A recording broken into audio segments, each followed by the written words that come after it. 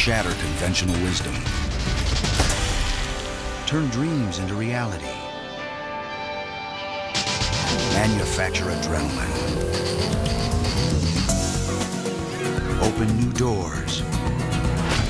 Blaze new trails. It's how we do things at the Chrysler Corporation. It's how we build great cars and trucks.